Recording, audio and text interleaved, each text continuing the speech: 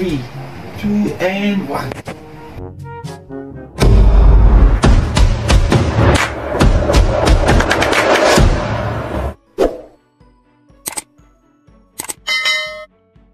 Good day class and welcome to our science class for today no. Congratulations that we are now in week 5 no.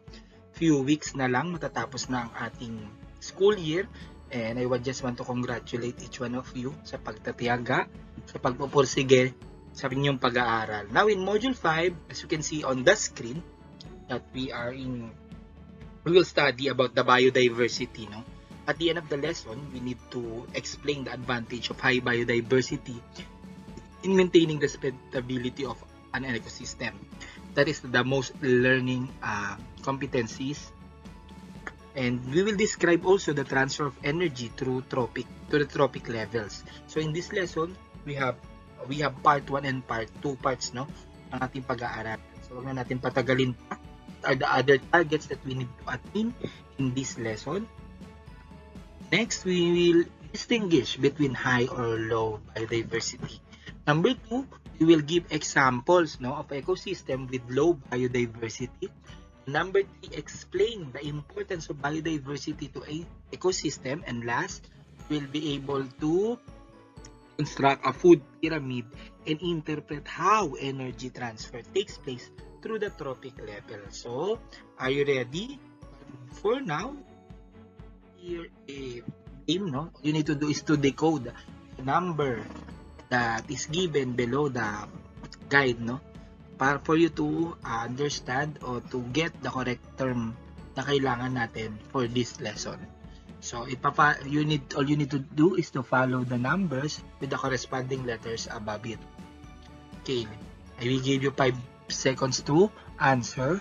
5 4 3 2, and 1. Very good. The correct answer, since number 5, letter E, number 3, letter C, 15, uh, that is O. The correct answer is ecosystem. You got it right. Very good. So when we say ecosystem, this is community of organism and its environment. A certain community, tapos mayroong organism doon. That is what we call ecosystem. Like a farm, di ba? Pag nakita kayo sa farm, of course, merong mga different kinds of uh, plants and merong hayop. That's an example of ecosystem. How about starts with the number 19 and it ends with the number 19 also. 5, 4, 3, 2, and 1. The correct answer is species. Is a species. So when we say species, pinag-aralan natin before, these are the class of individuals with common characteristics. Like for example, uh, the dog, no? We have different characteristics of dogs. That is an example of species. Okay, last word for this game. 5. Comment your answer. Huwag kalimutan. 4, 3, 2, and 1. Starts with the number 7, letter G yun. The correct answer is genetic. When we say genetic, it is what makes up an organism or the DNA. Community of organism and its okay. Okay? Stop. Okay. We have levels of biodiversity. Actually, there are three levels of biodiversity. First is the ecosystem diversity. Second, species diversity. And last is the genetic diversity. Sir, paano sila nagkakaiba-iba? First, ecosystem diversity, it consists of the large number no, of all different and all different kinds of organism that living in its environment. So, that is what we call ecosystem diversity. Pag species diversity naman, consists of the large number and different kinds, no? Shape, colors, and size of organism that inhabit on the earth. So, pag sinabi naman genetic diversity, if we will base the picture or the image below, different genetic information that organism contain. Okay? So, as we move on, let's answer the following. So, if you really understand yung previous nating pinag-usapan. Bio means we have four letters. Comment your answer. 5, 4, 3, 2, and 1. Very good. Bio means life. Number 2, variety is another term for Okay, naalala? Kakasabi ko lang kanina. Variety is another for, term for diversity. Very good. So, blank is the variety of life on our earth and interdependence of all living things. That is what we call biodiversity. So, how many levels are there in biodiversity? We have three. Very good. So, what levels of diversity is shown in the picture? Yan, a group of dogs puro dogs lang. So that is what we call genetic diversity. Very good. Okay class, for this activity all you need to do is to use your senses by observing the two images. What can you say on the number one picture? Or how about in number two? Okay. In that image. Okay, now let's proceed to the part 1, no? Kanina, ano lang natin yon Overview ng lesson. We will study about the low and high biodiversity. So as you can see in the picture, when we say high biodiversity, this is the areas with the higher number of organisms found and considered sa the high biodiversity. Pag maraming biodiversity, aba, pag maraming organism in a certain place, sa certain ecosystem, that is what we call the high biodiversity. Examples are placed in the tropic region like, yan as you can see. Uh, sa ilalim ng karagatan, same thing dito sa pinapakita sa first picture naman. Yung falls with different kinds of plants and animals or insects, I think.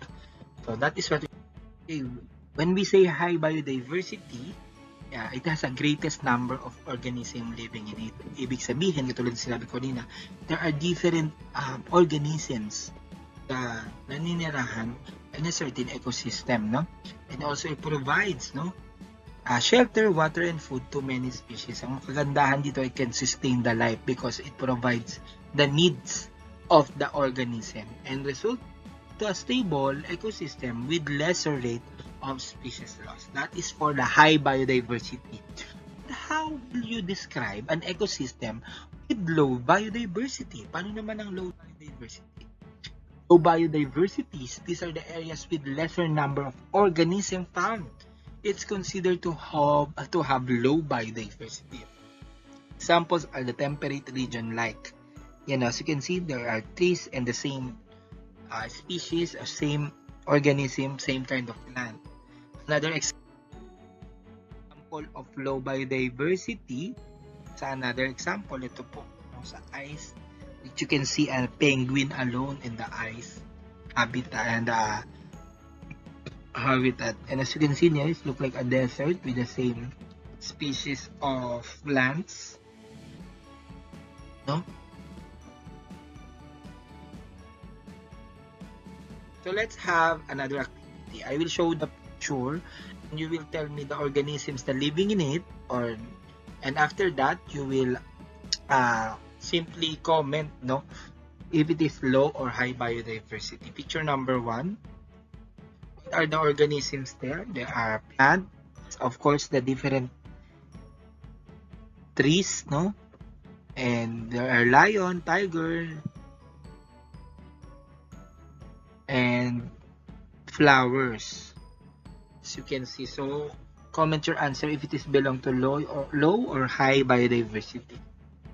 5, 4, 3, 2, and 1. Of course, that is high biodiversity. How about the second picture? The ice community. All you can see is trees. Meron naman dyang ano, no, organisms. Pero hindi natin makita. Maybe may penguin dyan. So, that is high or low? The correct answer is low biodiversity. How about last picture? O then, the schools of fishes, may corals, may seaweeds. This is considered as, of course, high biodiversity. This is very, it is also important for us, no, as early as young, on how to protect, no, the biodiversity. So, in protecting biodiversity, uh, there are causes of species decline is through the acronym HIPPO or the hippo. So these are the causes ng mga dahilan para hindi sila uh, makamamuhay no, ng maayos because of the HIPPO. First is the habitat destruction, I, invasion of introduced species, P is population increase, pollution, and the over collection, over harvesting of resources. These are the five reasons bakit napipigilan no, mamuhay ng maayos ang mga organisms because of the three. Let's see one by one. So habitat destruction based on the picture no kitang-kita na because of the destruction of the ecosystem of the organisms ay pipigilan silang dumami at mamuhay ng maayos. Yung I, ano sabi na sa I, invasion introduce species. Dahil ang mga tao, no, they are very willing no, to have a research, to invade, no, to to know more about different kinds of species. Kaya merong invasion of habitat snatchers. P, population increase. As you notice, the official 2010 census tally over over a year no tumaas na pataas ang population. And it will greatly affect and as you can see the the total total population of Philippines in 2015 no hindi pa to updated. Uh, nasa 2021 na tayo is 100.7 millions. Mas mala mas mataas tayo ngayon of course annual world population change. Ay as you can see no dito sa uh, predictions ng table 2020 pinakamataas na year is 1990 and over year 2050 pababa ng pababa yung population.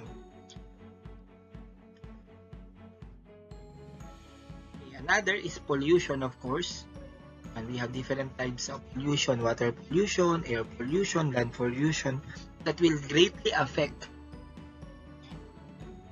existence of different species. And last, yung over collections and over harvesting of resources.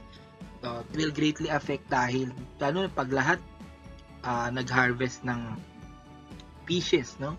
Sobrang dami, wala na natira sa dagat. Paano pa sila mag-multiply? Same thing with the trees. Pag lahat ng puno naputol na,